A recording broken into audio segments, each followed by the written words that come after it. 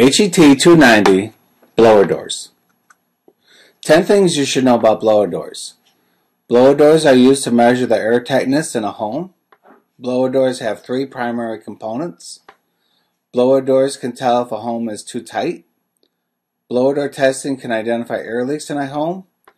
Blower door testing depressurizes the home during the test. Blower door tests measure the total leak rate of a house.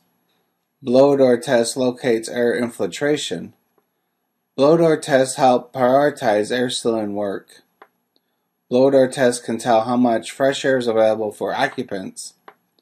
Blower door tests tell if zones in a home are connected to the outside. Air tightness. Air tightness is the amount of air entering or leaving a home. Blower doors are used to measure the air tightness in homes. Blower doors. There are three Primary components to a blower door. Number one, a calibrated variable speed fan. Number two, a pressure measurement instrument, also called a manometer. Number three, a mounting system used to mount the fan in a building opening, such as a door or a window. Blower door tests. Blower door tests are used to assess the construction quality of the building envelope, assess how much ventilation is supplied by the air leakage, assess the energy loss resulting from that air leakage, assess compliance with the building performance standards, determine if the building is too tight or too loose, determine if the building needs mechanical ventilation, locate air leakage pathways.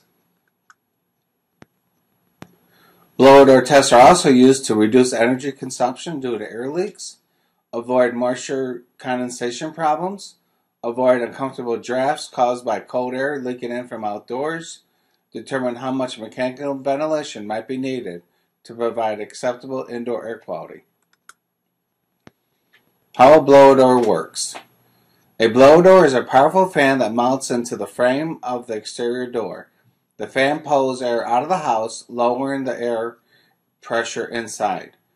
The higher outside air pressure then flows in through unsealed cracks and openings. The auditor may use a smoke pencil to detect the air leaks. Here's a picture of a blower door set up in somebody's home. The blower door fan is temporarily sealed into an exterior doorway using the door panel system. All interior doors are open and all exterior doors and windows are closed.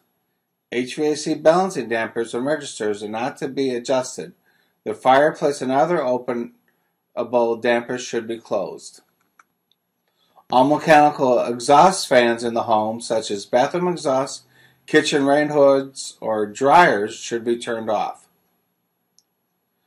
Pressure tubing is used to measure the fan pressure and is also used to the exterior of the building so that the indoor-outdoor pressure differences can be measured.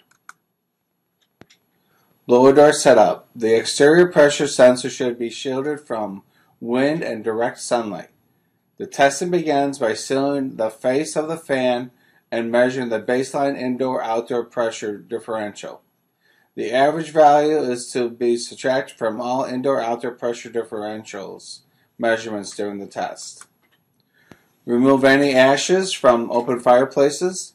Plan to do a walkthrough with the homeowner Ask the homeowner to point out areas that are known to be drafty or difficult to condition comfortably.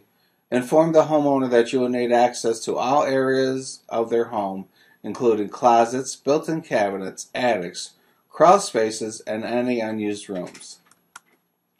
Remember to close all exterior doors and windows, open all interior doors, and close any fireplace dampers, doors, and wood stove air inlets.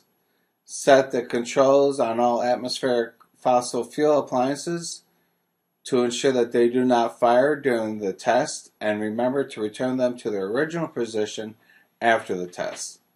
Expect the test to take up to an hour or more depending on the complexity of the home. Test procedure. Place the blower door frame in an exterior doorway. Place the green tubing outside of the frame off to one side away from the air path created by the blower door. Install the blower into the frame. Attach the necessary hoses to the manometer. Baseline the manometer, start the fan, and record the readings.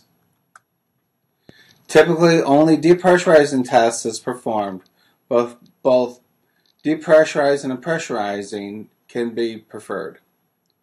Different values for blower door metrics are to be expected for pressurizing and depressurizing due to the building envelope's response to directional airflow. The smallest fan ring that allows the fan to reach the maximum target indoor-outdoor pressure differential should be used.